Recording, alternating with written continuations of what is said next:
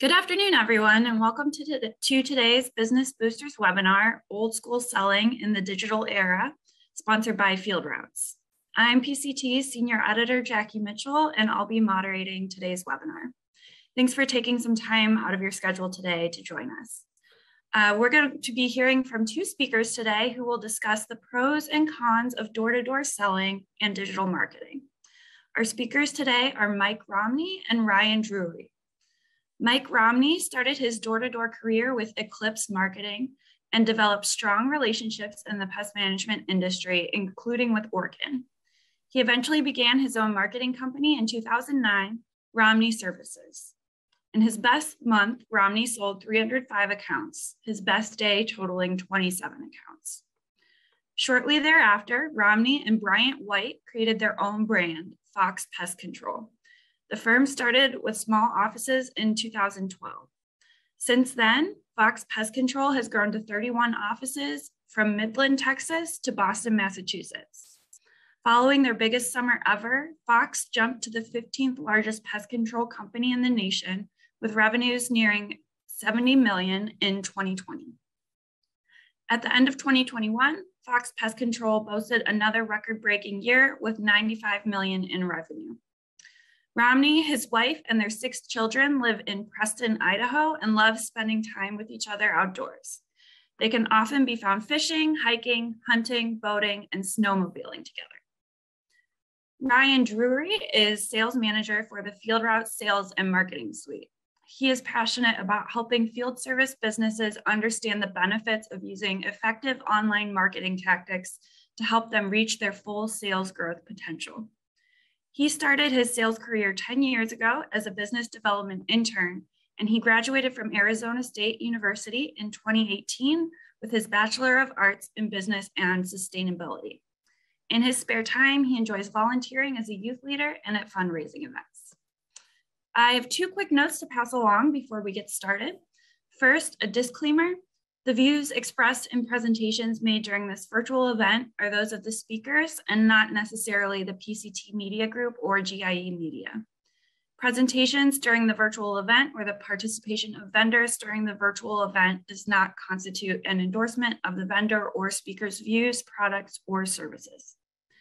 Uh, second, our webinar is interactive and we encourage everyone to ask their questions throughout.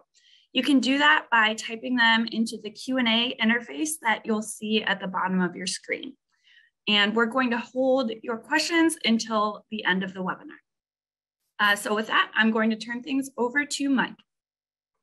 Thank you, Jackie, and thank you, PCT Business Boosters, um, for putting on this event and for FieldRoutes sponsoring it. Uh, Ryan, looking forward to being with you and hearing from you in just a few minutes.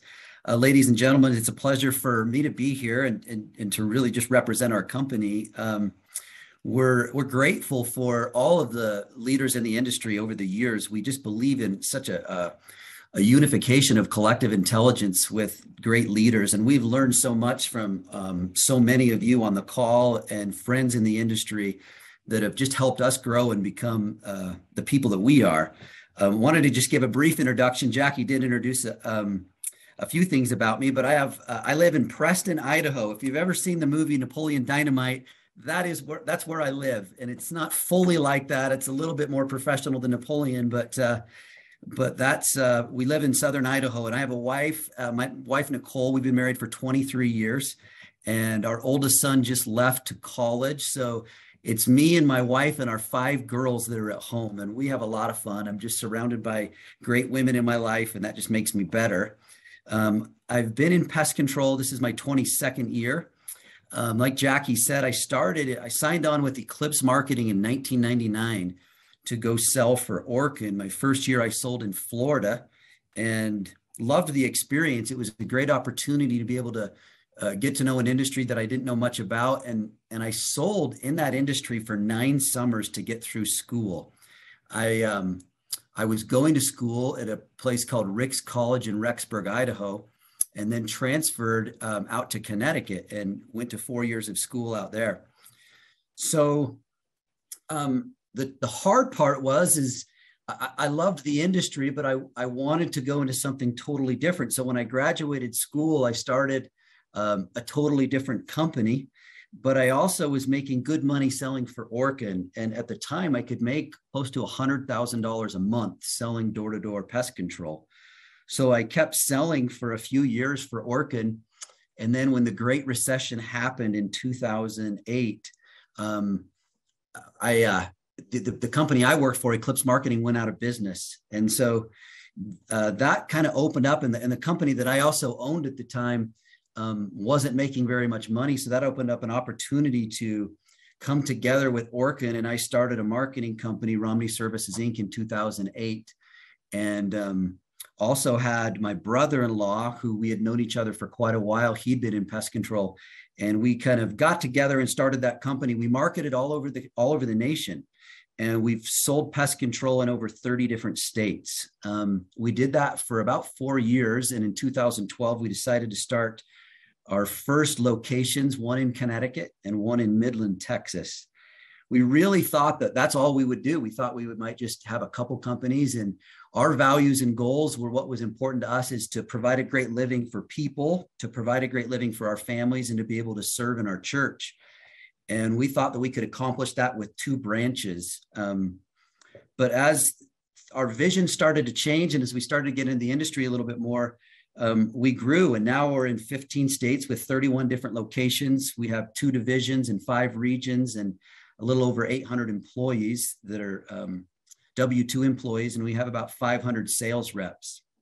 So, our topic, which we're passionate and excited about, is, is really uh, the old school of selling door to door versus the new school of selling in the digital era. And we do a lot of both. We're very strategic about how we use door to door and digital the beauty of door to door is that when we go into a market in the spring, when we choose a market, and over the years we've we've gone into 31 markets. We'll go into the spring maybe in April and we'll have zero customers. But with the door to door presence, by the time the fall comes around, we'll have three to 4,000 reoccurring quarterly customers. Um, so that's really a two to three million dollar business that we can create in a very short amount of time with door to door. Um, one of the differences between door to door and digital is we haven't seen that advantage, that big of an advantage yet on that scale with digital. Um, we, we start digital right out of the gate, but we can't quite grow that fast. Then, as a market matures in size and revenue over a few years, we really ramp up that digital as much as we can, and we really pull back on the door to door, or at least the door to door sales as a percentage of our total revenue. Um, last year, as a company, um, we did $94.5 million in revenue. We spent $16.7 million on door to door. So that's 17.6% of our revenue last year we spent growing our company through door to door. We spent 7.9 or just let's just round it to $8 million on digital and inside sales, which is 8.4% of our revenue. Um, I reached out to Dan Gordon yesterday who um, runs PCO Bookkeepers, and, and he has uh, he's just one of the experts in the industry that writes for different magazines. And, and he said the average in our industry is about 7% that's spent on sales and marketing in a company. Um, if companies if a company is growing really quickly, they might spend 10 or 12 or maybe even 14%. But last year we spent 24.7 million dollars, which is 26% of our revenue on growth. And it's a fascinating number to, to, to think about. Um, spending that much of your revenue on growth. We weren't always that confident to spend that much revenue. As you go back 10 years ago, that would have been a really scary number for us. So the question comes to us is how much can you spend on door to door? How much can you spend on digital or on growth? And that really comes down to what is the life, how long can you keep a customer? What's the lifetime value of a customer? And we, as uh, owners or experts or professionals in the industry, really need to have a grasp on that. Because if we do know how long we can keep a customer, that's going to really affect how much we can spend when if we just assume two things that we're going to be in a, a, good demographic and we're going to sell accounts in, in areas that have high income levels so the customers can afford what we're going to sell them we believe that the number one way to extend the lifetime value of a customer is through the culture of your company that's the way that we found that you affect how long you keep a customer. So it's the most important foundational cor- cornerstone is culture. And we wanted to spend just a second on that because we feel it's super important when we're talking about uh, spending a lot of money on growth. Um, our culture is developed because of our why. And our why really is that we believe in growing and developing people. Um, some people look at Fox Pest Control and call us a door to door pest control company. Others look at us and call us a traditional company that happens to use door to door and digital uh, marketing as growth as a growth venue. We look at ourselves at a, as a leadership development company with a relationship first based culture that happens to do pest control. And so everything rises and falls on culture and leadership. Culture and growing people is what we focus on. Pest control comes secondary. So we just believe in teaching and modeling our culture. If we don't create the culture, the culture will create itself. One of the things that, as, as we've talked to people in our industry and other industries, when they talk about culture, they, they think that culture means things like good pay, good working hours, good benefits, good bonuses, good holiday pay and time off policy, good structure in an organization, a, a respectful boss, leaders that are respectful, and good and orderly vertical accountability. And those things are important, but that's not really what we believe all of culture is. What culture really is, is that we're talking about values and principles and attributes that if we develop and we follow and we exemplify, then they make us good people and they make us great leaders. And so developing the character of the person is what creates culture. We have just three things we'd like to share about culture, and then we're going to move back into um, how much money we spend and how we grow with door to door and digital. The, the first thing that we found that's really important to create and develop culture and to, to develop leaders is what we call an individualized leadership plan, um, an ILP. An ILP really does a few things. It, it creates extreme loyalty. It, it welds them, it welds our employees and our team members to us in a natural and a normal way. You've heard the, the saying, well, we got to create these golden handcuffs so somebody can't leave. We actually don't really prefer to say it that way, or, or, or we don't even prefer to look at it that way. We want somebody to stay with us in a natural and normal way because they love us and they like us and they want to fight for us. It's how that you get the best out of people. And, and growing people through an individualized leadership plan will weld them to you with loyalty. It, it provides personal development and leadership success through for that individual team member. It creates a safe environment for them to ask feedback from you and for us to be able to give them feedback and it brings value to their life, not just a paycheck. And an individualized leadership plan, everyone needs to have one in the company. We don't pretend that we're perfect at this because it's hard to get thousands of people, hundreds of people an, an, ILP, but, but the ILP or the individualized leadership plan is done by their direct report. And it covers things like who are your mentors? Who are you personally following in your life? who is in your inner circle who are the people that you look up to and that you go to on a regular basis to get feedback for your personal development and growth what is your plan for personal growth what is the short mid and long term range process and outcome goals in your life what leadership books are you reading and and who who are you leading and who's following you it's a great question to ask somebody thinks they're a leader well let's just ask who's following you and that's been a really important part of our company in developing our culture and developing our leaders. The second thing, um, I remember I was on an airplane and I had a book that had been um, uh, just given to me uh, by a guy named Tony Hsieh. He's recently passed away. He was uh, the owner of um, a great company. And the book is called Delivering Happiness. And in that book, um, he talked about a culture book. And in that book, I'm not so sure that we're aligned with all of the values that he presents, but we learned some great things from Tony. And so we ordered his culture book. We actually got it and read it. And and so we started, I think we're on our fourth or fifth year of our version of a culture book. Here's here's a culture book from a couple years ago, but it goes through and it and it shows it's got a section for every place in our company and it shows all of our core values and it teaches unifies, helps us recruit, and helps us promote our view on culture inside and outside of our company.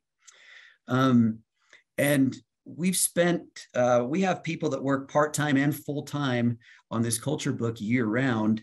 And I think last year we probably don't even want to know how much it does cost, but um, I think we spent probably two hundred and fifty to three hundred thousand dollars a year on creating this culture book for for our company. Uh, the third thing that we think that is super important to create the culture of our company, and we have really um, we, we kind of have to look at it. Um, we're unified as a company, but we, we have a sales side and an operations side and a servicing side. And so we'll have annual leadership summits for those different organizations where we fly them out to different places. Last year, we spent over $700,000 to spend to bring uh, 300 leaders and their wives uh, to Hawaii for our annual leadership summit. And when we're there in Hawaii, we start at 6 a.m. and we try to provide world class leadership training um, from 6 a.m. to noon. And then from noon, we have team building activities on the island where we're doing different activities and, and really just uh, getting to know each other better and building those relationships. And we're passionate about training and teaching these values.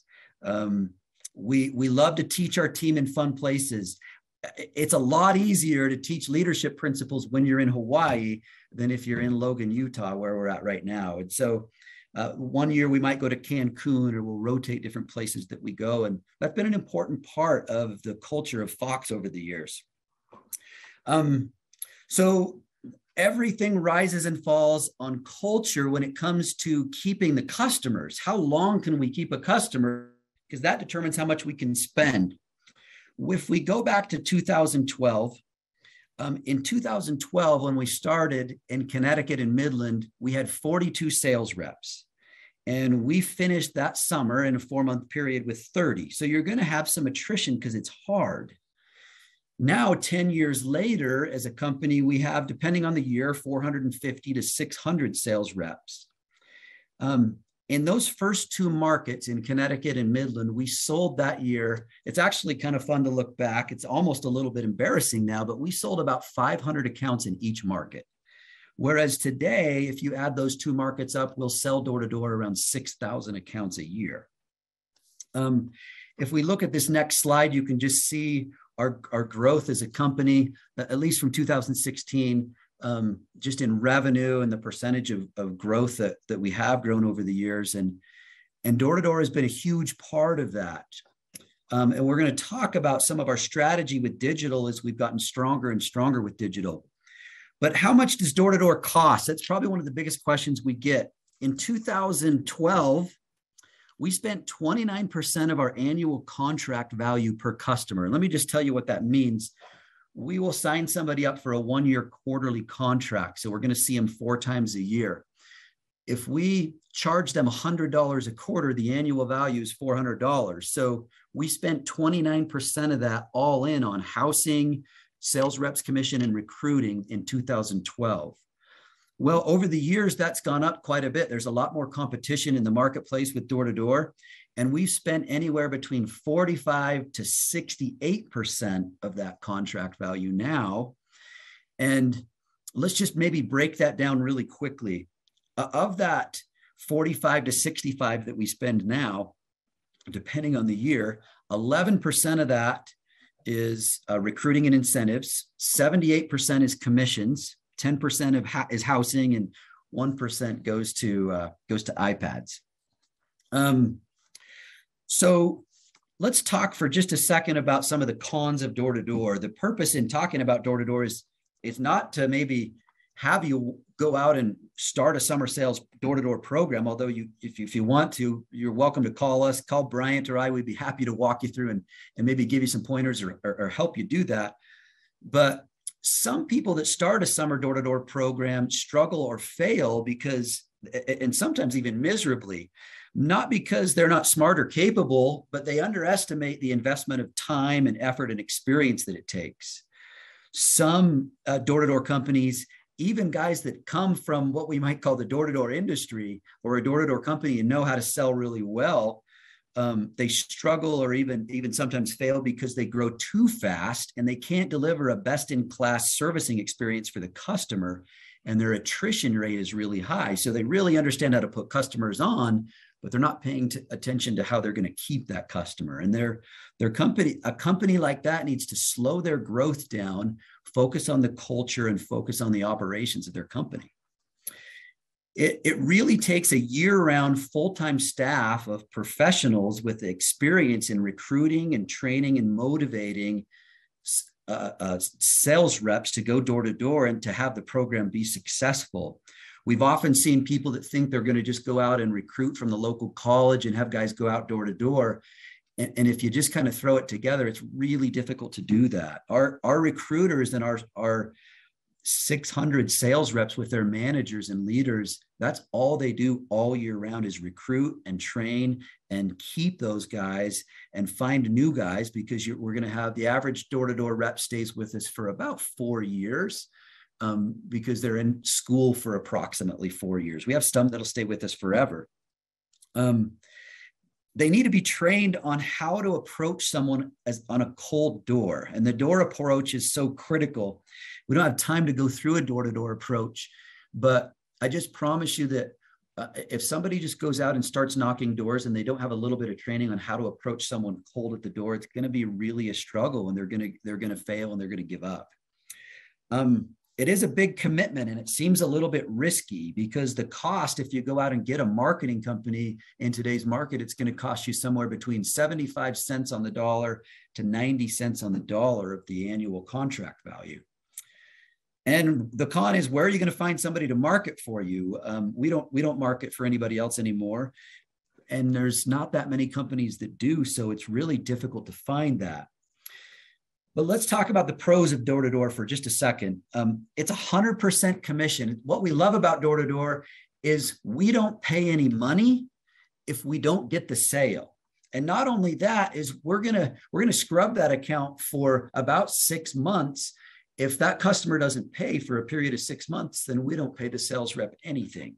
It's very direct and targeted to specific neighborhoods. So we're going to go to the neighborhoods where the income level is what we want, the demographics is what we want, the route density is really tight, and where we want to build our routes. So the, the efficiency and the profitability, once you get those customers, is really high. Um, there's lots of free advertising. We send out these good ladies and good young men and young women that are sharp looking and clean shaven, and they and they represent us well, and they introduce Fox Pest Control, and they hand out free flyers, and and we get a lot of people that call us later after that experience. And so we do get, um, we don't pay for everything we get. We also expand the market share of pest control. What's fascinating is most of the sales that we make uh, don't don't wake up in the morning and say I need to call a pest control company. They get um, they get the idea introduced to them about why it would be a good thing to buy pest control. So we expand the the market share of what we have. You look at California and Dallas, Texas, which are super competitive markets for door to door. Pest control is way bigger because of the door to door companies that are there. They've just increased that market share. Um, the other thing that's great is it's just another touch. We sell more accounts door to door year over year in our markets because people know us more. They got introduced last year and they didn't buy. Another person comes by the next year and they didn't buy, but the third year they'll buy. And so just as it increases the touch that we're going to have with people. So how would you get into door to door? Here's probably our best advice on this. Um, we just believe in giving back. So if you want to get into door to door, call us. Uh, we're, we, we're not going to charge you anything. We'll just help you. But our best advice is to get as many leads as you possibly can through other sources and then send your best sales reps out to those leads to meet with those people. And when they sell that customer, then that sales rep needs to stay in that neighborhood and knock the whole neighborhood until dark. The reason why they need to go till dark is most people aren't home during the day. They'll be able to get sales during the day, but from 4 p.m. to 9 p.m. is when you're going to make most your sales. But but we promise you, if you'll get a good rep that will knock that neighborhood, he'll easily get two to five sales. A great rep will get 10 sales in that neighborhood. And so that's a really good way. The, the, number one reason why people buy, the, the two most two most important reasons why people buy, they buy because their neighbor did it, and they buy because it's a good deal. So we have to equip that sales rep that's going out to the neighborhood to first of all sell that customer because now he's got a neighbor that bought it. And we're going to use that name all day long in that neighborhood that the Romneys they, they want they, they called us and wanted us to come out and get them taken care of. And we did them today. And my truck is here. That's the third reason why people buy is because it's urgent. You have to do everything same day. So we're going to equip that rep that goes out to that lead to learn how to do door to door in a warm way not not really a cold way. And and we think that that creative way of selling would be a really impactful way that we've seen a lot of our friends grow their company and, and, and we have as well um, let's transition into talking a little bit about digital, digital marketing. Some of our friends think that it's easier and less risky. And, and I actually would probably agree that, that digital is a lot easier. Um, you don't have to go out and recruit some of these young guys that are a little bit entitled and they want to know how much money you're going to pay them. Um, we just get the phone to ring. And how great is that when the phone rings? The first time we started with digital, I mean, it was so fun for us because we're used to going and pounding the doors all day long to find the sales, and now they're coming to us. You have to be an expert in digital marketing or you have to hire an expert. That's just been our experience. You have to stay in it for the long haul because it doesn't all come really quickly at once. Um, so we try to find people that are best in class in their specialty and keep them in their strength zones. And that goes with everything in our company. We try to keep our operations really in their strength zone and keep our marketing team in their strength zone and keep our sales guys in their strength zone. Um, so uh, on inside sales and digital revenue, what, what we call inside sales is, is we have um, we have a team of about 60 people right now that we call inside sales, and they they take all the inbound calls from people that want our service. And we'll talk in a second about all the different ways that we get people to, to call us. But this shows our revenue growth on, dig, on the digital side. You can see, and it's been very intentional over the years, we love door to door, and we're always going to do a portion of door to door. But we said, how do we grow our, our digital side to, to match our door to door? And that's what we're trying to do because as a is a is like Connecticut now, and Midland is 10 years old. We've got a really great base, and so we want to grow um, our inside sales and our digital marketing to be as high as that door to door. So here's this is a fascinating slide. If you can see it on your screen, in 2017, we did 10 point million dollars of sales in door to door, and only half a million dollars in sales on our digital marketing. So we started to want to push that as hard as we could, and it took us a while to figure it out. We did 11.2 million in 2018, and now 1.7. Um, so we, gosh, we more than tripled in, in in that year in the internet marketing side of things. Then you see in 2019, 16.7 million on the door-to-door side.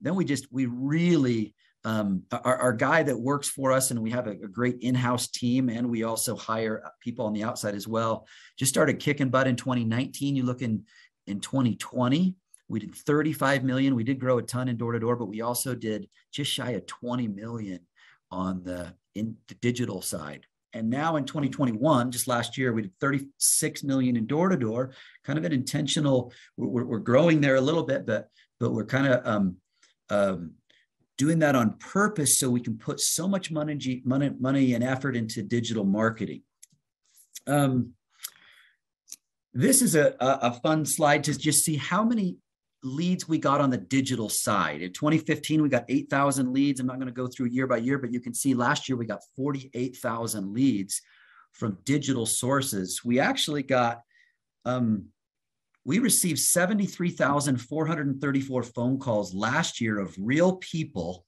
who contacted us that wanted to buy our service.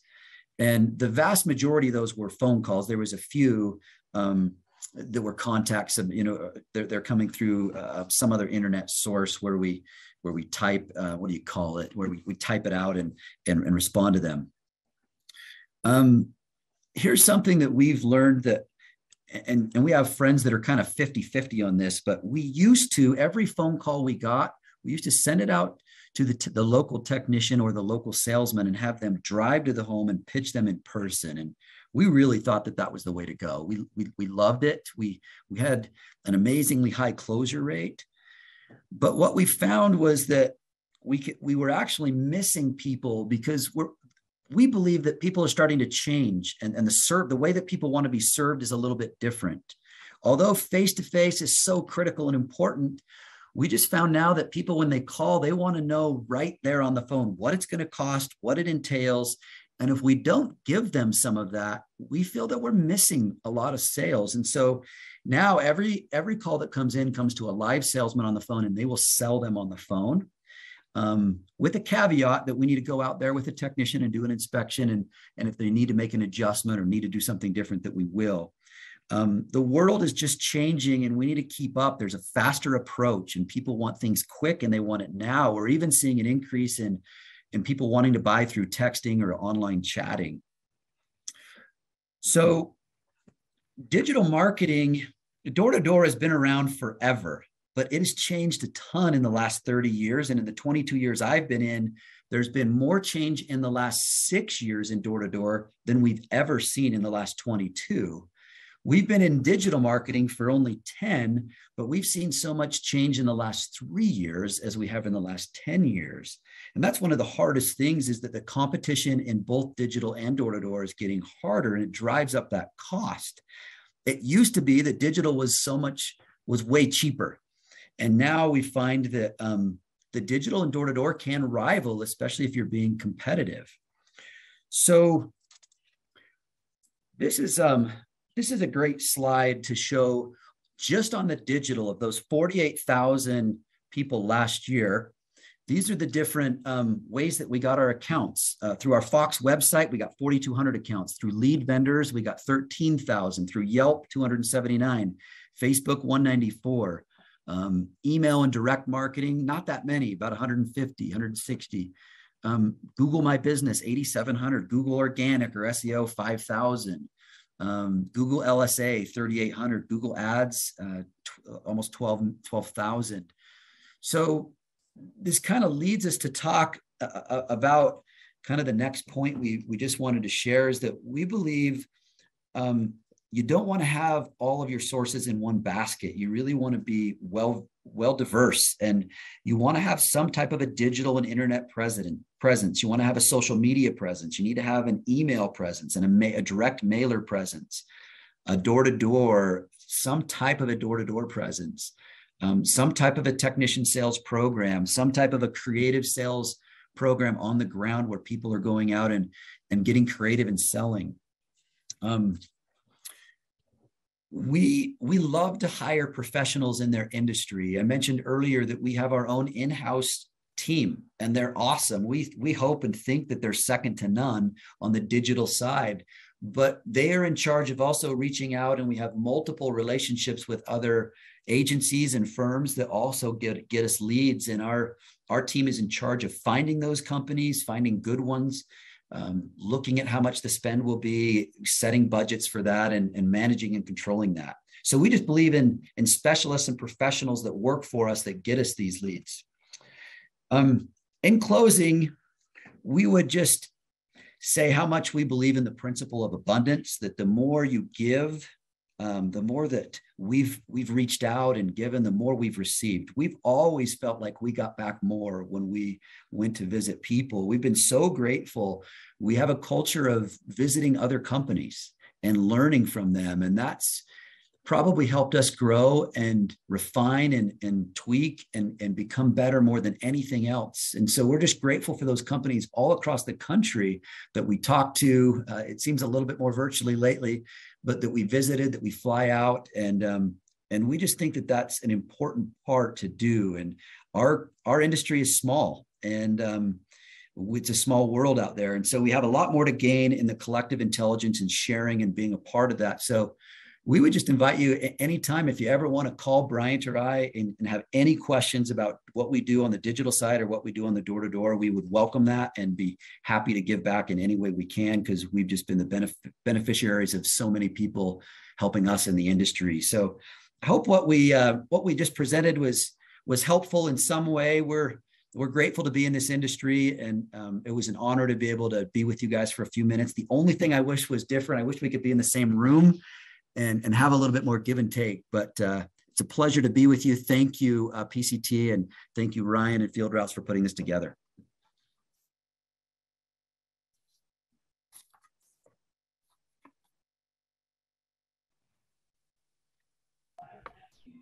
All right, thank you, Mike. Um, and now we're going to hear from Ryan Drury of FieldRoutes.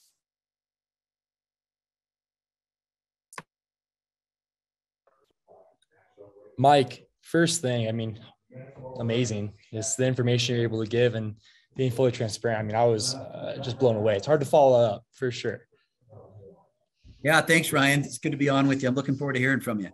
Absolutely. So I wanted to quickly, I, I put together a small PowerPoint for you guys going over just out the gate. What are we seeing with um, the, the idea of the old school and new school and what that all lays out. And so I'm going to pull that up really quick, but I want to spend a majority of the time that I have with you guys going over something that is um, really near and dear to our hearts over here at FieldRoutes, and that is going to be um, this consumer report we put together. So I am just going to, for whatever reason, it's not allowing me to pull it up.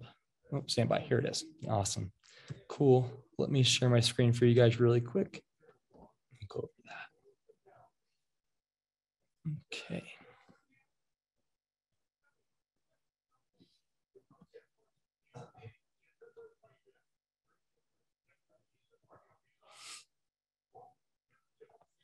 And so I really liked a lot of what Mike was saying earlier. I think something that really works for us on our end is starting with why. And for those on the call who may have known that Simon Sinek is, is great. His amazing TED Talks, his book's amazing. Um, and when we look at what really differentiates people in the marketplace from being talking to someone in person, like we get to with Mike here, or seeing somebody's online presence online, um, the main differential is what is their company culture, and it's really easy to see those things when you're looking at it online. Cool. So from what we've seen, just doing this again, um, you know, for around 20 years over here on the FieldRoutes marketing side. You know, we were in the past lobster marketing, and one of our uh, main components was helping focus on the pest control industry. Um, we made that switch to line up with PestRoutes then, and then rebrand rebrand with FieldRoutes in this past year. Um, we continue to maintain that culture on our side. You know, we really want to help uh, companies be that community leader in the space, um, be it within pest control and and and lawn care, and then hopefully um, any additional adjacent verticals out there in the space. We want to make sure that you guys can tell your story in the best way possible. We want to be the megaphone. So we found with that old school in person, you have a lot of control in being able to have a high impact with talking to the prospect, sharing your personal story, aligning with them in every step of the way, um, and, and really delighting them across that process. And so we want to continue to maintain that when you're looking to um, increase your online presence you you want to make sure that you're reaching clients in the same way um, you you were in face to face when that acquisition goes down that you're you're having a higher conversion rate. And i know mike went over some numbers. I think it's really important to be data driven and then another portion of that too and he said not being able to pay out for folks with door to door if the client churned or, or was a clawback retention is important and that retention with a client and that attention to detail leads to their further loyalty the reviews online and for you guys to have a lot more um, a lot more impact with those who are in your immediate vicinity. So we found again that being able to communicate online making sure that full life cycle of the client is really aligned with what's in the space. Amazon doordash carvana we all across all demographics make a lot of decisions based and influenced by things that we see online and so it's important to extend your reach in a way that is very much aligned with your company's culture and values. Um, and I think Mike has really good examples of, of how he was able to do that for his firm. So cool. Now that was brief because I wanted to get really into to this portion here, which is going to be um, our consumer report. This will be available to whoever wants to have access to it after the end of the call. But really wanted to look at the industry overall um, when it comes to folks making decisions on um, home services. And so we'll stick with pests because I know that's the, the meat and potatoes here. But in the last month or the last 12 months, we saw that 58% of people who are making searches online are involved themselves with a pest control search. and that at any given time, around 43% of those who are both in the homeowner and renter market have either purchased pest control or are proactively looking um, to the future to make a decision um, based on what's going to be best for them. And so I think Mike nailed it on the head, right? At any at any given time, when you look at why client's can make a decision, uh, he brought up the the example of a neighbor, right? We call that social proofing. So when you have a client or, a, or potential client, you're in our process online. We can show you guys at a later date. Um, process online is really sh- lining in that social selling aspect. How many neighbors in your area are utilizing the service? and just feeling very comfortable making a decision. And then also the good value record there um, and importance on urgency. So I think this next portion of this report really dials that in too. So why are customers making a switch? You see 63% of them are on a recurring plan, pretty much par for the course, right? We think about all the recurring subscription plans we're on from uh, from Costco to, to Netflix, to whatever it is. If we're happy with something, we want to be and have it be ease of use, you know, not have to worry about um, make sure we don't miss any payments. Um, and again, amongst those who are purchasing or have purchased pest control services in the last 12 months, they're pretty satisfied, right? Six out of 10 say they're satisfied, especially those in the urban area. But if that's the case, despite the high satisfaction, why would people want to make a decision to make a change? And we see that across the board, 46% of respondents in our survey were likely to switch companies. And this might suggest there's a, lo- a loyalty issue, but rather they're going to make a decision on a couple things. So going right back to Mike's point earlier, right? Good value. Right? They want to see if they're going to find a better deal out there in the marketplace. And a lot of things influence decision making. So it's not just the perceived value, but it's how you're being treated. Right. We see 45% of those are looking for a really good customer service experience. And then 48% are looking to maybe try something new. So we found that those in the marketplace, um, a younger generation, they're willing to try something new on 63, 61% of the, those who are looking to try something new versus those who are incumbent or loyalty customers. Um, we see a lot of this in the in the urban and suburban areas, and those with a higher income are willing to make changes. Which for a lot of us, I want to make sure when we're looking to push our business online that we're just lining up with a customer who can afford our services, not you know discriminating against anybody across the board, but just make sure that we're we're lining up with people who are going to be long term a good decision for our company. So when it comes to when they're looking to make a decision, number one reason why they pull the trigger across the board is just going to be that um, seeing an active infestation. So initial triggers would be the infestation, 51%. So you see a need, fill a need. And so instead of folks saying, hey, well, I want to spend a lot of money, time, energy um, cultivating my social media um, we want to make sure that we're looking for online presence. I think going right back to why door to door is so successful is because you can see a clear ROI. We want to make sure we're doing that the same thing online as well. And so when we're pulling the trigger on different pieces of data and content here on the Field marketing side, it's all being dialed around return on investment.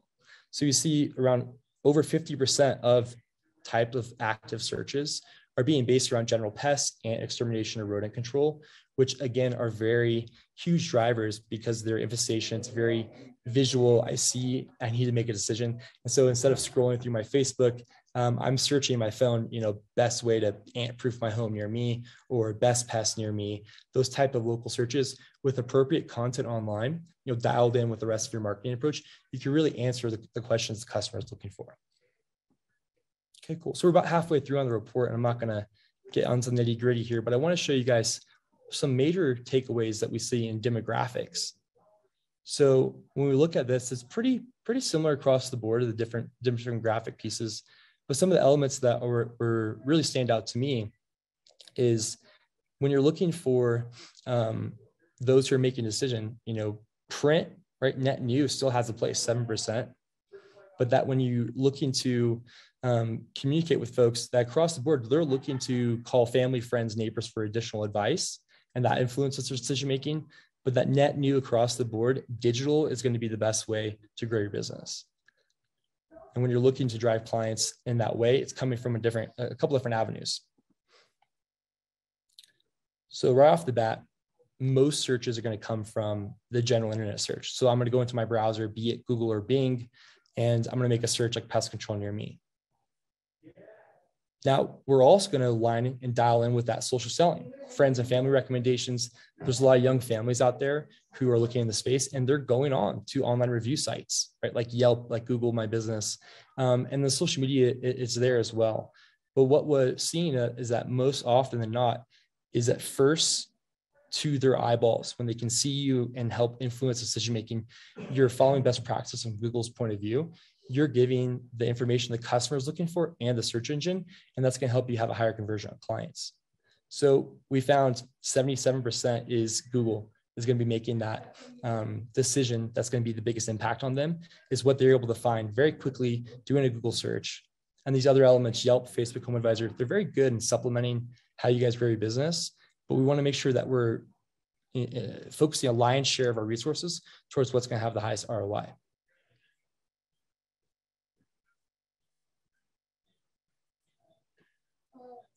Cool.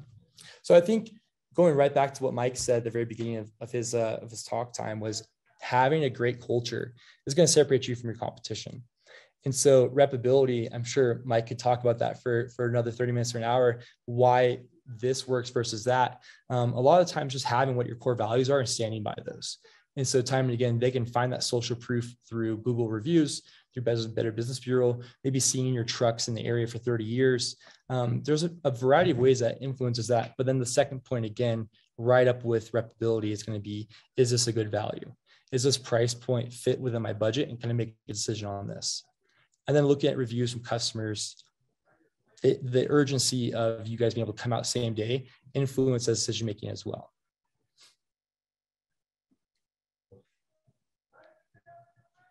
Cool. So what's different between the owners and the renters? The big one out the, out the gate was there's a higher propensity for those who are renting to focus more on a budget solution, and then those who are owning to find the best solution, um, regardless of price. So we saw earlier they're very much neck and neck, but that they're looking for those things more than they are looking for a deal. You can see right here, 27% of folks, both owner, owners and renters, are looking for a deal promotion, but that's actually you know below the top five reasons why they're going to make a decision. Now, this statistic is really interesting to me based on just the um, the topic uh, that we're discussing today. Is when you look at entry a new market, door knocking and getting out there and really driving, grabbing market share, it's going to be the most controllable method of doing that. But with long term and, and midterm growth projections and where you are, and even be able to compete with those at your local level, door to door is taking a smaller, smaller position within that, just because not a lot of people um, want to answer the door anymore. And so, with focusing on having a good, reputable brand online, being able to, to close over the phone and have information on your website that answers the questions clients are looking for, is that when they call you and they're looking to make a decision, 48% of them are calling a company that they've already seen, experienced, be it maybe be it door knocking, maybe seeing a truck, maybe seeing a, a flyer, or doing a Google search, they're calling somebody that they've seen or known before. And that increasingly, which hasn't existed until the past three years, is the ability to even book services online. And so that's something that we'd love to talk to you guys about. Um, if you want to sit down with us for a demonstration, is the affiliate network that we've built over here at FieldRoutes, which allows for you guys to monetize strict traffic to your website and and also make sure you're not losing out on any leads that you guys can service from those who are also in network.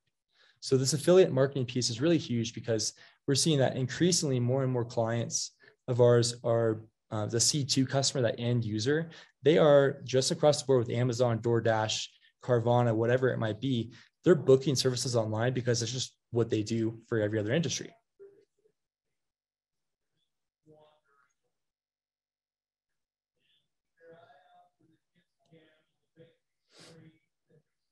And so these other demographics information is going to be going over decision making processes based on um, really the nitty gritty stuff, price point, ability to come when I need them to come, sense of reliability and trust.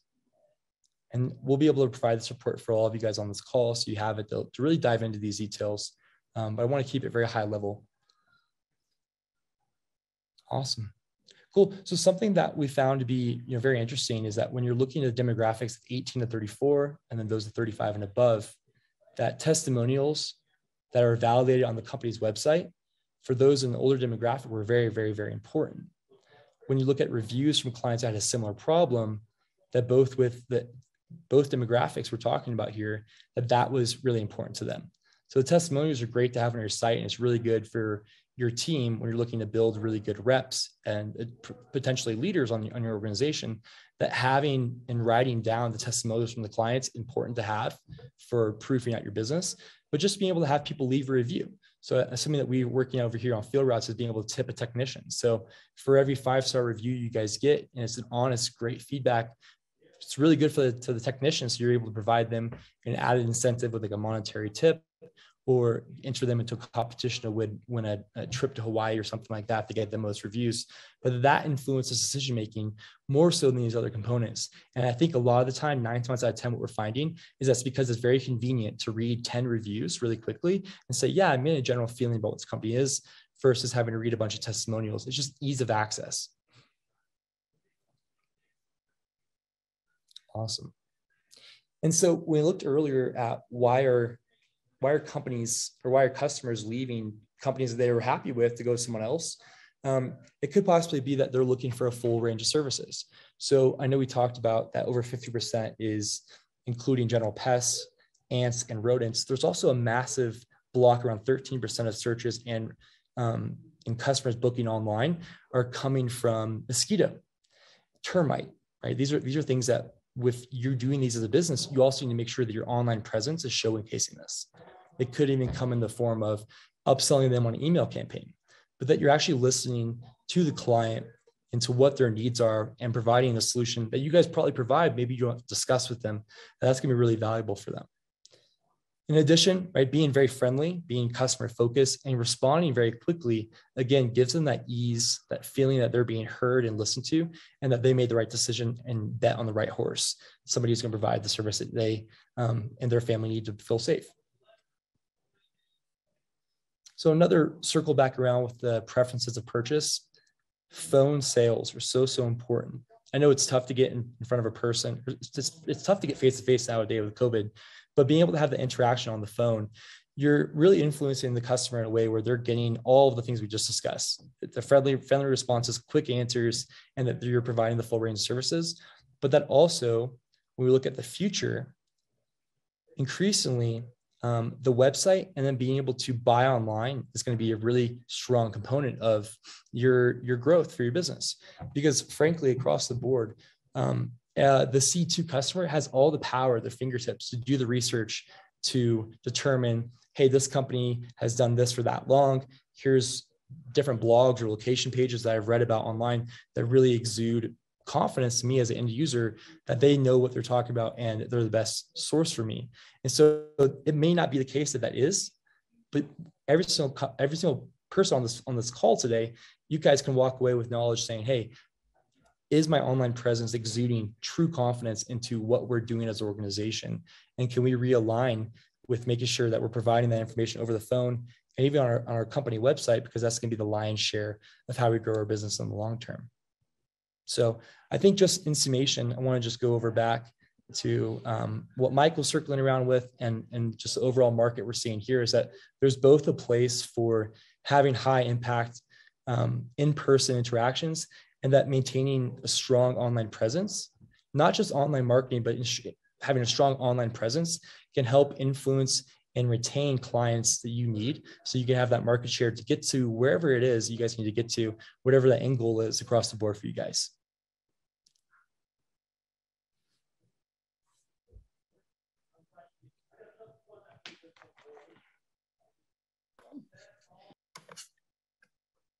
All right, thank you so much, Ryan. Um, we are going to take some questions from the attendees now. Um, We've had a lot coming in during the presentations. Um, so this first one uh, is for Mike. How many door-to-door salespersons do you employ and how easy is it for you to obtain them? Yeah, that's a great question. It just depends on the year. I think I mentioned we started with 42 our first year, and I think we've had as high as 600 in our best year. And and so you know between five and 600 is what we have right now and we never really fully know until we start the summer with with college kids and their and their plans can change on a dime. But uh, it's it is that is probably the hardest the two hardest things about door to door is is number one teaching them how to sell on a cold call basis and teaching them to deal with the rejection. And and but the number one thing is getting that sales rep and finding the right one because you can talk people into coming and selling for you that just don't fit the right they don't have the right personality for it and the right character traits. And that's the hardest to find. And so getting good at that and and and really weeding out ones that are, aren't going to be good sales reps or they don't have the work ethic. And that's just hard to find. In in 22 years that i've been in the industry it's changed a lot um, in the generations that we're seeing now coming up wanting to work and willing to work. So it's hard to find them it's really hard. And the competition is really steep. There's more and more companies that do door to door. So um, you're competing for the same guy with with way more companies. When i started there was like one company maybe two that did it. And now there's probably oh i don't know maybe 75 major companies that do door to door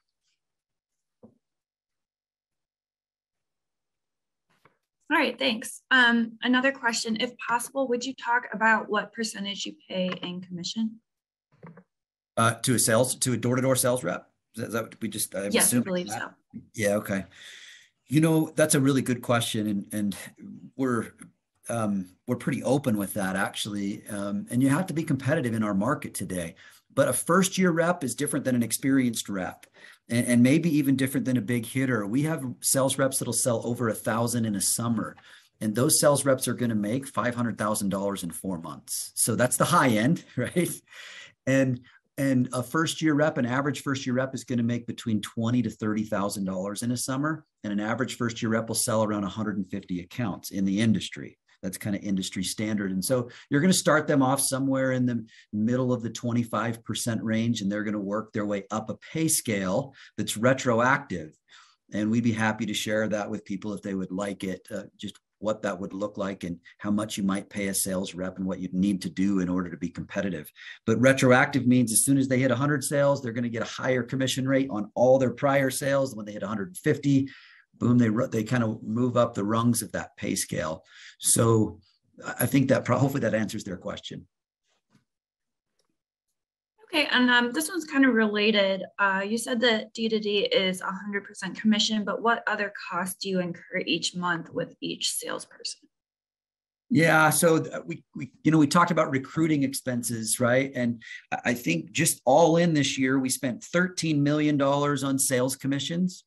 We spent $2.7 million on recruiting.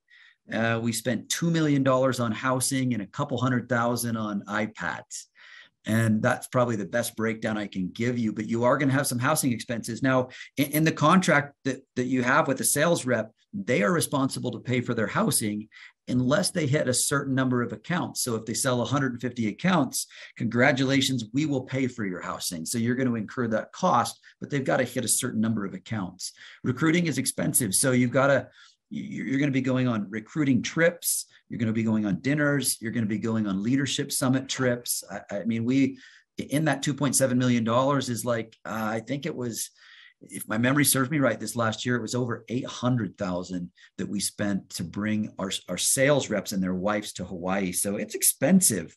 Um, but that can kind of give you enough an idea on the breakdown. Thanks um, here's another question. As a startup company, does it make sense to get a loan, a loan to fund a door-to-door team right off the bat with how competitive commission rates are? How would you go about starting a company with little capital in this market? Oh, that is a great question. Um, it just that's such a good question. It depends on how much experience you have in the industry and how confident you are and you're going to keep those customers. If you're going to get a loan and hire a, a, a third party um, to do marketing for you, call me before you do, because because the challenge is is you have to be so careful on the onboarding process. And, and this is this goes on any this is something that we work on and we talk about with our operations team uh, all the time weekly is how are we onboarding that customer and what is the experience that they're having and how is the communication from the sales rep whether it's on the phone or on the door to what we're actually going to provide. And that's where we find if we're going to drop the ball, that's the first place and the biggest place where we drop the ball. It would shock you, it shocks me to know that when people call to cancel our service, one of the main reasons they call is because they just didn't understand. They didn't understand that we'll come out for free between the services. And I'm like, how did that miscommunication happen between the sales and the service and all the welcome calls we do. So that onboarding of the process is so important. I, I probably would not recommend getting a loan to start up. Um, we just eased into it as we could afford it. So that's my advice, but that comes from me uh, being maybe a little bit more conservative. Okay, um, going back uh, to talking about commission, um, one of our attendees says, thanks for your transparency. When you say retro, do reps start over next summer or do they stay at that commission rate for their career? Yeah, good question. In the competitive field right now, and, and, and it just makes sense that we want to get that rep back. And, and so we're going to start them at the same um, commission that they left off last year for the most part, um, as long as, you know, they're a reputable rep and they've got, they're doing good things and they're following our values and who we are. That, that's kind of an advantage. Just in the industry in general, that's usually uh, kind of what happens is they get to start at their commission rate from last year. All right, um, Mike, this is a question from your revenue comparison chart. Um, can you talk about the breakdown of spend versus growth? Well, let's see. Um, I, am I'm, I'm not sure if I don't have the chart right now here with me. Roy, could you see if you could find that? But I, I'm not really sure exactly what they're asking, the breakdown of spend versus growth. But but but I could go back to this. Let me just maybe answer that question this way. Um, we we spent, I mean, we grew 36% from 2020 to 2021. I think we went from 69 million to 95 million. Um, we spent in the year 2021 to grow $24.7 million in sales and marketing expenses. And that's all in, right? That's sales reps commissions. Um, that's how much we're paying Google. That's how much we're paying housing for door-to-door reps and recruiting and all of that. So we did spend 24.7 million in order to grow that year. Um, and those percentages are again on the on the internet side or digital leads. It's 8.4% of our revenue, and 16.7 million we spend on the door-to-door side. That's 17.6% of our revenue. I, I hope that answers the question. Okay, thank you. Um, how many of your leads did you convert to customers in 2021? Yeah, so um, uh, I'm assuming that's on the digital side, right? On a door to door side, it depends on the rep, but for every 10 doors you knock, you're probably going to sell one. Some reps are every 20 doors that you talk to somebody, the actual decision maker. So it's one in 10 or one in 20, depending on the experience of a rep. On those lead calls, those 73,000 calls that we had come in, um, we have to break it down. We obviously want reoccurring revenue. We call it a home protection plan. So a quarterly reoccurring revenue service. Now we actually sell two-year contracts rather than one.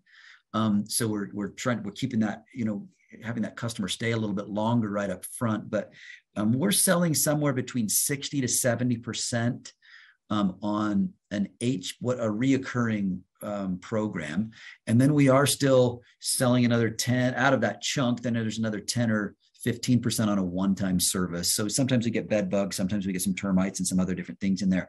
But we're really closing about 80, 80 to, to mid 80s on everything that comes in of, of we're closing on something. Okay, uh, we got a couple questions about lead vendors. First, can you explain what lead vendors are? And then can you go into more detail on what companies you use for lead vendors? Yeah, that's a good question. You know, um, we were careful, and and and this is just let's just maybe step back and take this a little bit broader. Maybe um, is that we've had some amazing lead vendors, and we've had some that we just had no luck with, and and some that my friends have had luck with, we just haven't had luck with. So you have to experiment and try. Um, and we have several, I would say, that are in the bucket right now that we're not, we wouldn't refer them or reference them because we just don't know yet. And then we have a few that we've had some really good luck with. And then we have our own in, in-house. And so um, if, if, somebody really wants to reach out and call me, I might in a private conversation be able to talk to them about where they're at and what they're looking for, but I probably would just leave it at that. Thank you. Um, how do you deal with no soliciting neighborhoods?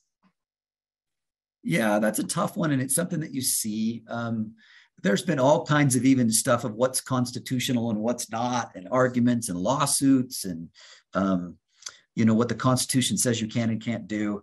We just believe that um, that the, eh, the Constitution is in our favor and on our side, but we have to be respectful. Uh, you'll, you'll knock neighborhoods that will have a no soliciting door, right? And um, so you just want to be respectful of people's time. You can leave flyers. You, just want to be careful about that.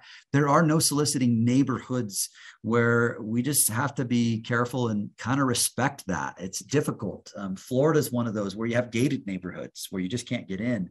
And man, I'll tell you, if we could get in, we'd sell a lot because nobody knocks those doors. And someone else also asked about HOA neighborhoods and what to do if you're in those. I'm assuming that's the same type of situation. Very similar, yeah. Um, um, you just want to be respectful, right? You treat people how they'd want to be treated, but but we find in a lot of cases we have a lot of customers in those neighborhoods. So sometimes you can go visit that customer, see how they're doing, and and you can re- sometimes reach out and ask for referrals and knock some of the neighbors very carefully and respectfully. And um, the best thing is if you can get a hold of the homeowners association and sell that guy and he likes you then you've got an in and, and that's worked on, in a few cases. We it's, it's so important. Th- this is uh, one of the problems with some uh, I'll just be real. There's some problems with some door to door companies that don't get permits. And it's just, you have to get solicitor's permits. You need to follow the law and do that. We spent, oh, I don't know the numbers last year, but I know in some years we spent between thirty to $50,000 getting solicitor's permits across the country for our reps. And it's just worth it. You want to, you want to call the police departments the day before and say, Hey, just want you to know we're going out to this city.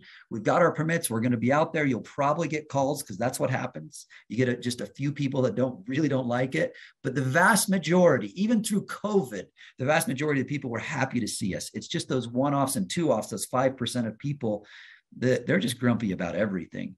So get your solicitor's permits, pay the money, be respectful, let the police know what you're doing. And um, you're, you'll just be a lot better off. The reputation will follow you. And we've worked really hard over the years so there's a great reputation with fox and if you don't do those things we just talked about the reputation the reputation will also follow you for not not being a team player and following the law do you have any advice for doing door to door in large cities such as new york city oh that i'm that's a tough one you know um, I mean, New York City is technically in our territory, but we don't knock doors there. It's really hard. Um, I mean, I suppose you could go commercial door to door, but in the city with those high rises, I'm not really sure how you do it. If you're going to get out in Queens and a little bit more out there, then it's possible. Um, obviously, outside of the city in the suburbs is where you're going to have success door to door, unless you wanted to go commercial. Um, have doorbell cameras like Ring changed the door to door sales game at all? A little bit you know um, i mean it's it's been commented on before that you know that it, it, is it harder to do door to door because people don't like that? And I, am the first to admit i i don't i mean i have empathy for a door to door salesman but i don't love it when somebody knocks on my door. And so that's part of the hard hard thing about door to door is you're going to get rejection. You're going to get people that are home that can see you on the door to door camera that just aren't going to answer. And it is just it's a numbers game with door to door and you got to knock enough doors to find the people that are going to buy. And we like to say look if you'll just go out and work eight hours literally eight hours knocking doors you're going to find one or two sales a day that are just gimmies. They're like oh i can't believe you're here. We were just talking about getting something because we have ants in the kitchen. So you just got to knock enough doors to find that person. And so if there's somebody that has a camera that's listening or watching you and you don't even know that and they're like oh another door to door guy or whatever he's saying, you just got to leave and go to the next one. Uh, can you go over what the average cost per lead was for digital? Yeah, and um, that has fluctuated over the years. It's between seventy to hundred dollars, right? It has gone up. It used to be years ago where we were more like twenty-five to forty-five dollars a lead and that was amazing. And now it's 70 to 100, depending on. And, and here's the problem with the cost per lead. Where, where is it just the cost per click? Is it the cost per phone calls that come in, or is it the cost that you're actually closing leads? So where does that go? I, I think last year we were at $70.12, but the prior year we were at $100.80. It also varies drastically by market, depending on the competition of the market. Um, so uh, just how many companies are advertising and we've seen a huge increase. When we started digital 10 years ago i did not realize the steal of a deal we were getting because nobody was doing it. Now everybody's doing it so the costs are just going up uh, quite a bit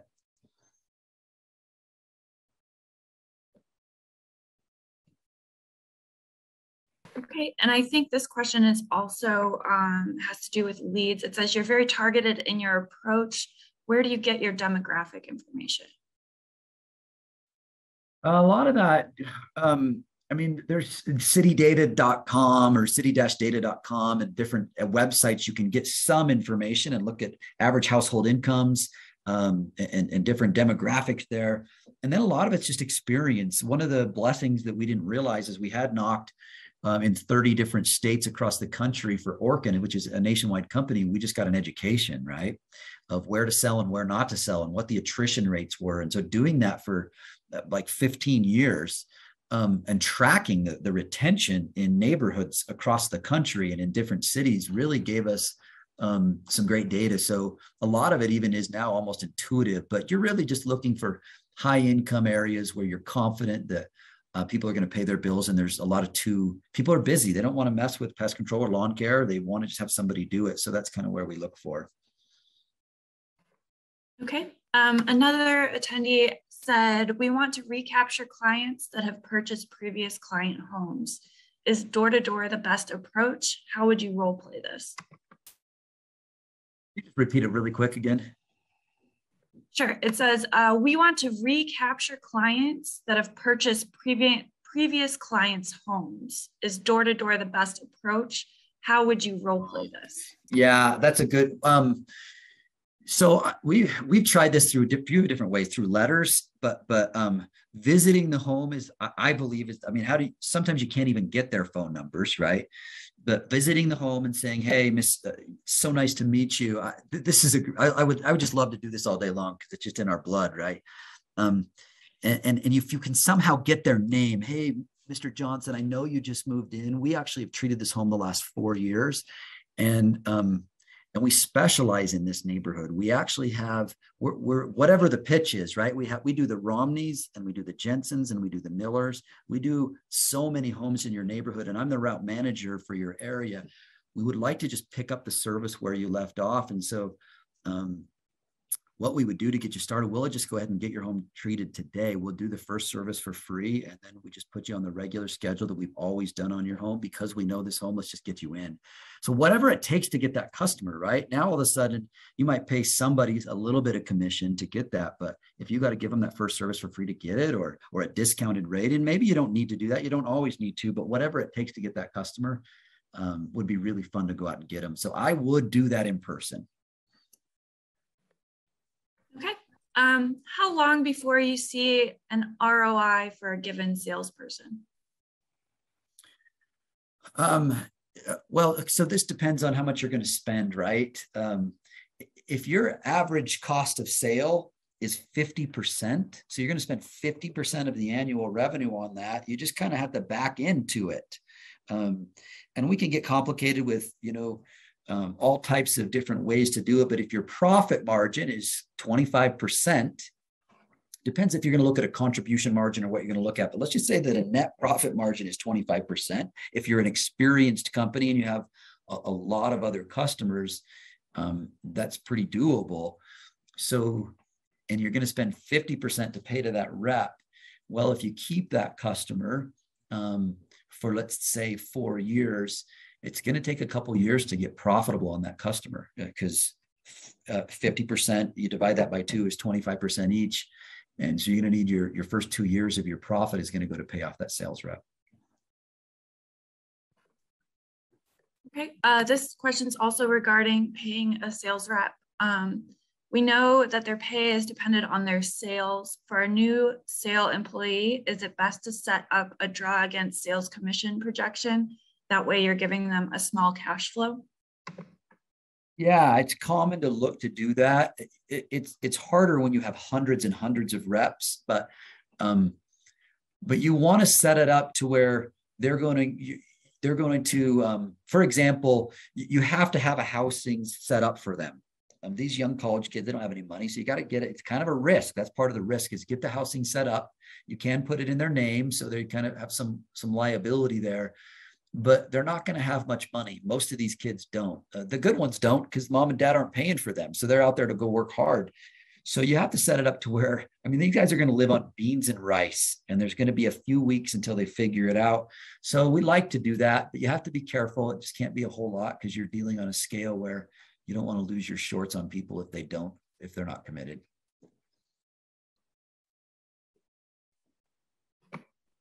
Okay. Um, how does your tenure of inside sales reps compare to the rest of your workforce? And what have you done to increase that? Yeah, um, I don't know the exact percentage. I would say probably a third or maybe half, maybe even more are old door-to-door reps that don't want to have to go out and travel and don't knock door to door. And they they there's nothing better for a door-to-door rep to sit on a phone and, and they're just coming to him and he's selling them. It's so easy. And they just think it's the easiest thing in the world. So retiring door-to-door reps and putting them in that program is awesome and being able to pay them a lot. I mean, we have we have sales reps that um, are selling over the phone. Um, I think some of our top reps sold over 2,000 reoccurring pest control accounts over the phone, and we're bringing in one to one and a half million dollars of revenue for one rep. And so it, it's a great job. And just finding the right type of person that can sit at a desk and answer phones all day is probably the hardest thing. Okay, uh, Ryan, this question's for you. Um, what's the best digital marketing technique to complement a door-to-door selling plan?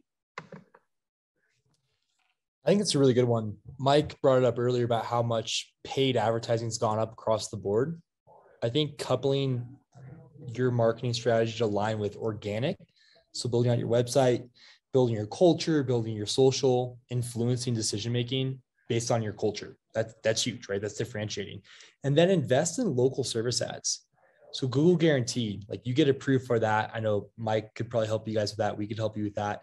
It's one of these things like that's going to differentiate you because Google's going to support 2,500 or more of your actual product itself and that service. So you're guaranteed by Google that they're going to do the right job and do right by you. So that's a great way to, if I was getting started or if I was making a pivot with my budget, I would say I would love to double down on more organic, both internally and either hiring an agency or working with a partner. And then also move my budget away from Google ads as much, which is just cutthroat. Like it's, it's high dollar amounts. The conversion is one of those things where it, it just depends. But local service ads is a rotating cycle. So you're going to get in front of people. It's going to be a good way to differentiate yourself in that local area. So winning and losing on a local level would be both with content and your paid ads.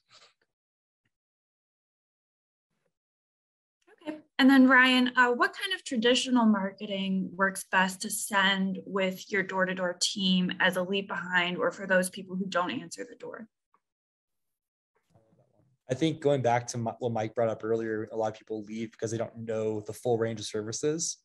I would just make sure that your leave behinds or your your takeaways with door knocking or, or, or if they're not there, leaving something out, just going over the full breadth of your business and an elevator pitch and having that digitally um, is important, but having it in in in a hard copy version too. So just buttoning up your operation and know why you're doing what you're doing, what differentiates you from your competition. Because at the end of the day, there's not a lot of change. Like you guys are using very similar chemicals with your competition, but they're going to make a decision based on how you make them feel, not just what you tell them.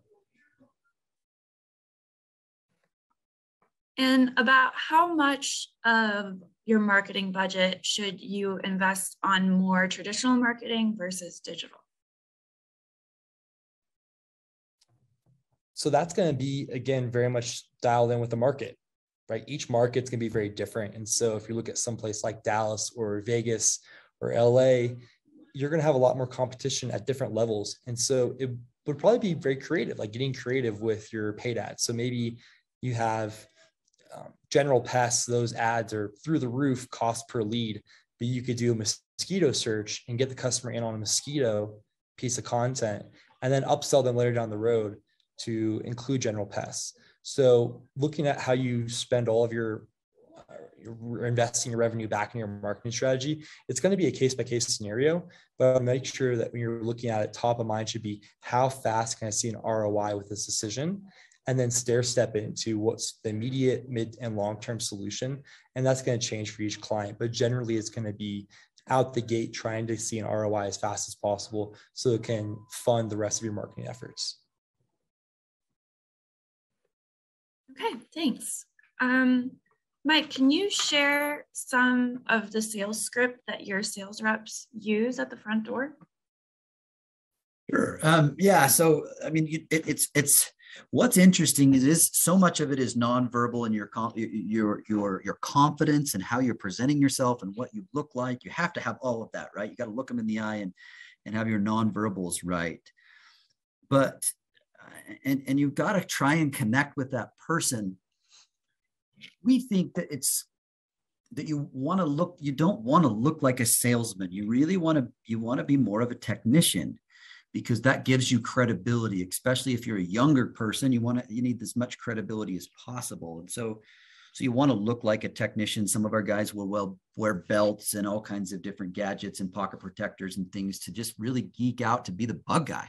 That brings you credibility. And you have to remember that when you have that shirt on and you're a bug guy that they do think you're the expert, even if your guy it's his first day on the job. But um, but what we're really going to do is we're just going to introduce ourselves with we um a lot of times we'll say something like did did did you did any did you guys talk did you guys hear about what's going on in the neighborhood? You know the answer to that question right? Um because and your pitch is going to change because the number one thing you got to remember is why do they buy? They're going to buy because the neighbors did it or are doing it. Well, if the neighbor isn't doing it, you can't use that.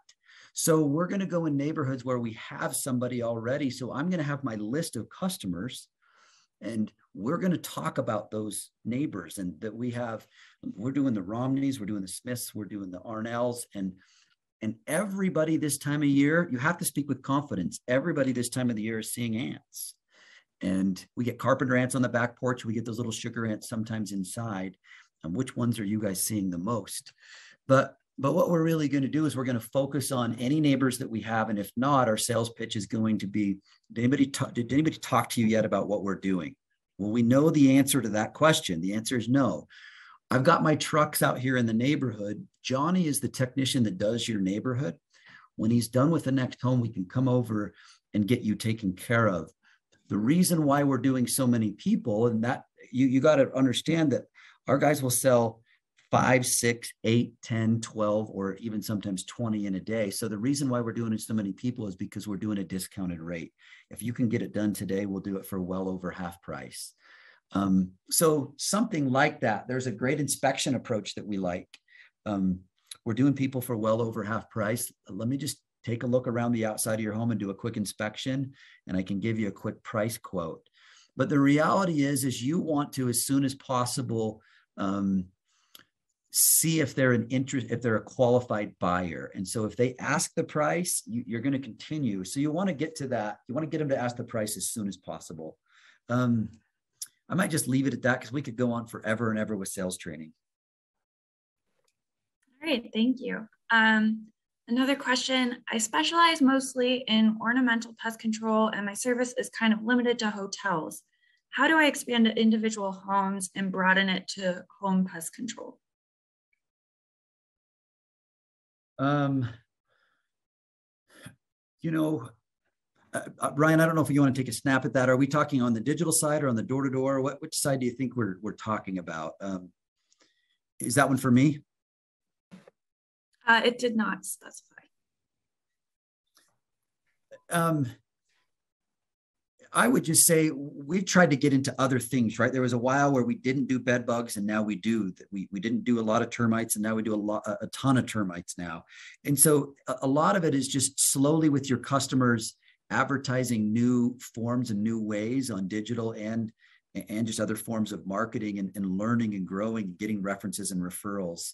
Um, it's a little bit tough to break into a new market. Same even with commercial. Um, it's difficult if you're residential or an ornament, ornamental or whatever you're doing and want to break into another industry. It just takes time. I would just say be patient and work into it and it, it will come.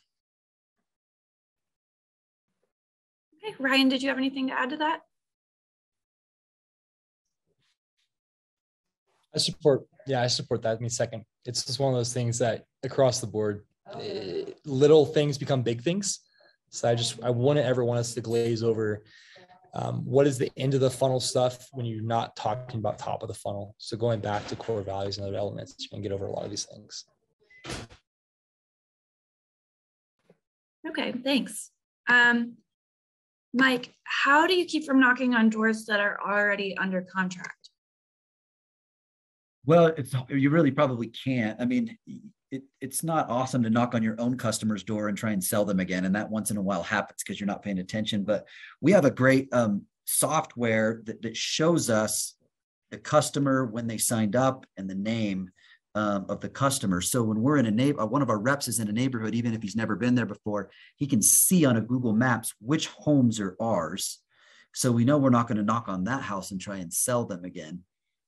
But but the reality is, you're going to knock on a lot of doors that already have pest control with somebody else. And my my our, my personal philosophy on that is, if they're happy with their service, it's just let's just move on. But but if they're not happy, then let's talk to them about what we can do to switch them over to a service that might provide a little bit more value they can be happy with. And so it, it literally is again a numbers game. You're going to knock on hundreds and hundreds of doors over the course of a week, and you're going to talk to a lot of people that are satisfied, and you you've got an option to try and beat them up and switch them over and and you can spend forever in a day trying to do that. And most of the time we just think it's best to move forward and find people that that don't have a service and or, or that aren't happy. Do you have any data on about how long you keep the average customer? Yeah it, it's we we run data like that like crazy. And and one of the things that we found is the retention of a door to door versus the retention of a of a digital sale. You know what's crazy? We used to think uh, it just made sense that maybe um, one might be more than the other, but they're almost identical. Matter of fact, one year one will be up like a tenth of a point and one will be down a tenth of a point. It's really amazing that they stay about the same. But here's what we found with all sales is that once they get past that initial 12 to 18 months, if you can keep them past 12 to 18 months, our attention is unbelievable. It's just not quite as good in that first 12 to 18 months because they've got to get to know you and they've got to put it in their budget and they've got to make sense of it and they've got to kind of buy into pest control. And so when what we focus on is that customer experience in the first those those first two or three or four services to wow them enough to where they're never going to want to cancel but but what's great is the industry standard, as we like to say, is 2% a month, which is 24% a year, is your attrition rate. Well, it's going to be a little bit higher than that or somewhere around that in your first 12 to 18 months. But if you can get them past then, then it's going to drop way down to where some you're looking at maybe a 12% a year, a 1% a month on, on customers that have been with you a long time. So um, you'd want to say somewhere between four to six years you're going to keep your average customer but it depends on what bucket of time they're in. Our old we have customers that have been with us for 10 years and so what's their value? They're going to hopefully stay with us for a long time. The older and the more mature you get as a company the more that that number changes. So if you're a startup company it, it, it's just totally different than if you're an older company. And jackie our data backs what Mike said. So over the last 12 months, the data we did for the consumer report, 46% of folks are looking for something else, not because they're just satisfied, because they want a better deal. They want to see if the customer service experience is different. And then also in the younger generation of 18 to 34, they're also looking for novelty, something new. And you get them past that 12 to 18 month, you're going to see it change a lot more into they're going to leave you because they moved away or something like that. Okay, great. Thank you. Uh, that's all the time that we have for questions. Uh, so we're going to wrap things up here. Uh, thank you so much to Mike and Ryan for sharing your expertise. Do either of you have anything else you'd like to close with? Go ahead, Ryan. Yeah, I was gonna say it's been such an honor to sit here with Mike. I learned so much about the industry. Um, again, I've been here four years, coming from a, a, digital marketing background. This industry is so amazing, so wonderful, and and Mike's a, a, great case point of that. So it's just an honor to be part of this, and thank you so much for hosting at PCT. Thank you, Ryan. I would just I, I echo so many things that Ryan said. It's it's an honor to be able to be here with you, and um, if we can ever help in any way, please let us know. We just want to be able to give back and grateful to meet Ryan and Jackie and thanks for what PCT and, and FieldRoutes do. So it's a great company and um, really appreciate uh, being able to be here. Great. Um, and just to point out, uh, if you are interested in a demo from FieldRoutes, we have posted the link to that in the chat. So that's available to all attendees. And thank you so much for joining us today. Hope you have a great rest of your day. Thanks, Jackie. See you guys. Thank you guys. Bye.